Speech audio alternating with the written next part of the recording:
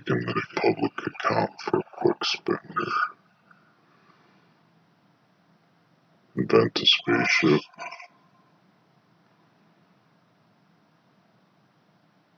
This is all, and uh, this is edited, keep in mind. So, that takes a minute. Go to my spaceships. Launch. When the MetaMask pops up, you might want to check Ether gas station. Make sure you have the right amount of Wei in your transaction so it goes through quickly. Go ahead and launch. That was unsuccessful and the spaceship was lost. It happens. So go back, go ahead and launch again. Same sector. So there's only one planet in the count right now. But keep in mind, game's not all about launching spaceships. It's also about looking at the auction, seeing what planets are available in what sectors, what kind of resources they have available, because this all comes into account when you're launching spaceships, because that takes a certain amount of population, takes a certain amount of resources, specific kind.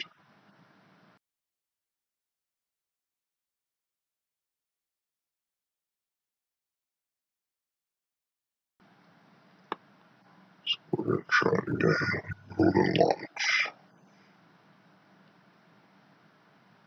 Select the planet to launch it from.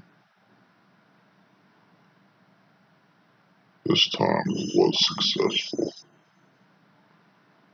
So what happened was sent a small amount of ether to the smart contract that you 0xUniverse has. It creates an ERC 721 non-fungible Ethereum token and it comes in the form of a planet. You can see it right there. Um, if you use this public account,